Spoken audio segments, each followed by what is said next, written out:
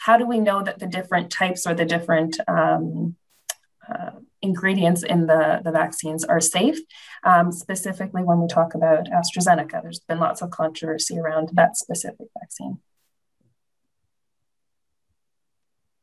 I, I haven't specifically looked at the AstraZeneca formulation myself, so I can't really comment um, in, in, detail on that. But you know, uh, there again, you know, um, you when you're designing a formulation, you have criteria that you have that you want to meet. You want you have some performance characteristics you want, that you want the, the, the drug product, whatever it is, to um, meet as as term in terms of formulation. And it depends too, in some cases, on how you're going to use it, the route of administration. All of those are factors in how what you're doing when you're developing a formulation. But the actual components are pretty critical, and some are, are you know have different um, risk factors associated with them in terms of um, some of the risks that people might be concerned with. And one that was that's been very very common for um, quite a number of years now is concerns around um, effects such as um, Creutzfeldt-Jakob disease, and that would be you'd be looking for things like um, materials that have origins from animal in origin materials, or you know um, things like that that would um, confer risks for like that.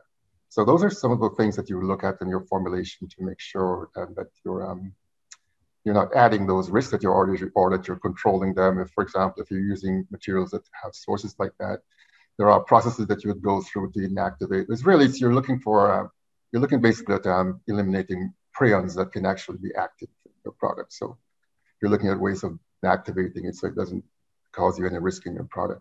But you know, in, in that vein, you know, it's a kind of a similar approach. You're looking, it's you're doing risk management. You're doing risk all along the way. You're you're constantly um, assessing risk of um, inputs into your process, inputs into your products. So that's basically, and everybody, and again, you know, those things are sort of um, built into the process now because we're seeing where the risks come from a long time ago and you build those in. The only thing I would say is um, the, the, the two, two first vaccines that we have, because of their, because they're, it's a new platform and it's somewhat unique in terms of um, where we are in terms of vaccines at this point in time.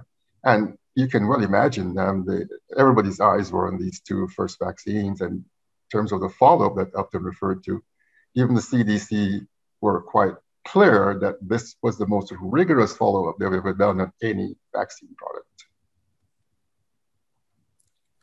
If I may uh, chime in there, I think you ought to remember that whereas in a clinical trial, you're dealing with 40,000, 30,000 numbers, we now have real life experience with these vaccines, where millions, probably we're reaching hundreds of millions have received the vaccine.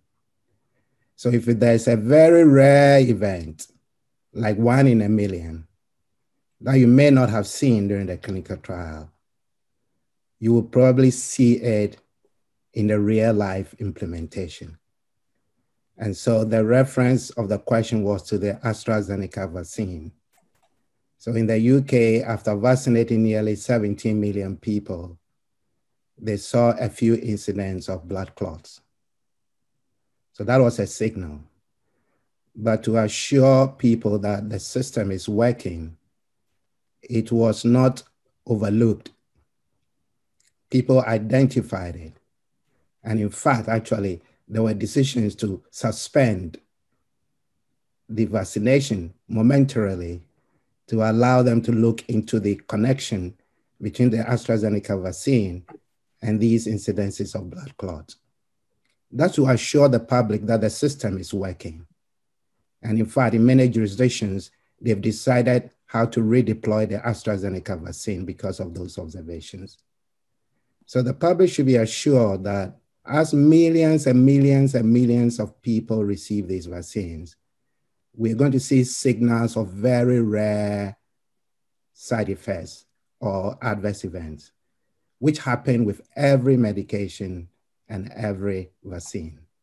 So that is not to say that one should shy away from these vaccines, but it is an awareness that one should have and an assurance that the system is working to identify these very rare reactions to the vaccine.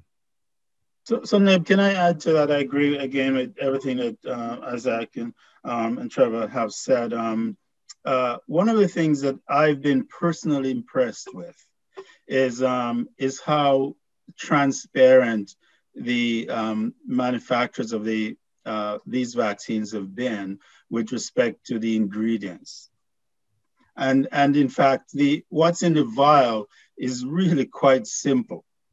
Um, and there, there's some differences, but the most important thing is that there's nothing that's in the vaccine vial that is not labeled. That there's nothing hidden. It's all there. And, uh, and in, in gross terms, it's actually for the mRNA vaccines, it's actually quite simple. It has the mRNA, it has um, uh, a lipid, it has uh, some other chemicals, um, one of which is uh, uh, has been alluded to by Trevor called um, polyethylene glycol. It's used in cosmetics and bowel preps and laxatives. It has sugar, water, and some salts. It's really quite simple. Um, and I often think of it as um, like having a raisin. Uh, this is for the mRNA vaccines, having a raisin that is coated by chocolate, where the, where the lipid is, is coating this mRNA product.